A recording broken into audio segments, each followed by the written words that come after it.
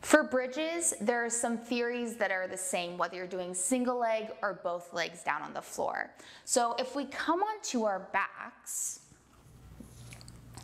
what I want you to think about first is relaxing your shoulders. So if you're anything like me, as soon as you get into a position that's going to be strengthening or conditioning, I immediately tense my shoulders and the rest of my body. But instead I want you to relax because we're not working our shoulders in this situation. Now I want you to engage your glutes and use that to lift up to the ceiling. And I'm also pressing into my feet.